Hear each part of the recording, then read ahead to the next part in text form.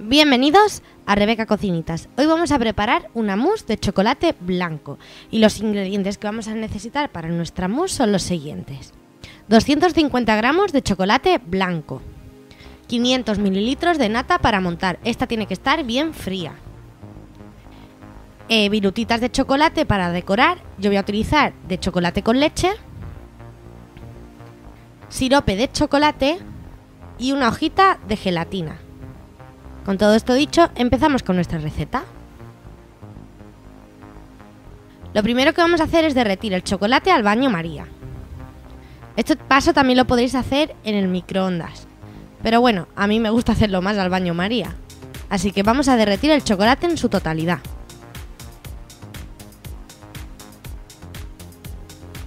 Una vez derretido, cogeremos un vaso y pondremos un poquito de los 500 mililitros de nata y lo demás lo echaremos en un bol grande. Escurriendo bien el brick para así que toda la materia grasa caiga en el bol.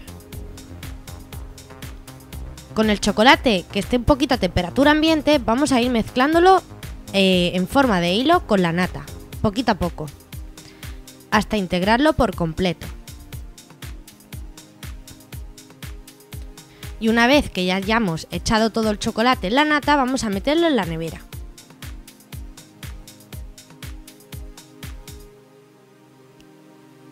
Mientras tenemos en la nevera el chocolate y la nata, vamos a poner la gelatina en agua a hidratar. Y una vez hidratada, escurrimos y ponemos en la nata que, que habíamos puesto en un vaso. Esto lo calentaremos en el microondas. Una vez caliente, vamos a montar nuestra mezcla de nata y chocolate blanco. Y vamos a añadirle también el poquito de nata con la gelatina que teníamos.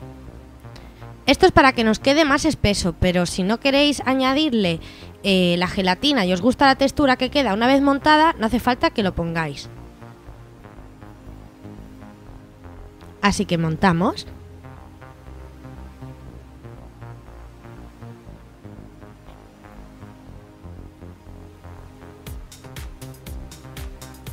Mientras lo metemos en la nevera.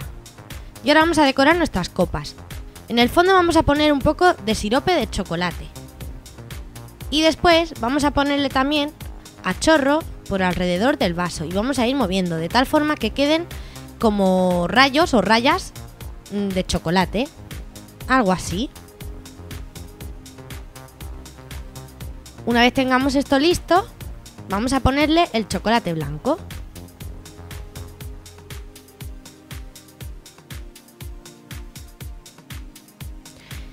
Después, en mi caso, yo he decorado con una manga pastelera y una boquilla de estrella grande. Y le he puesto chocolate por encima.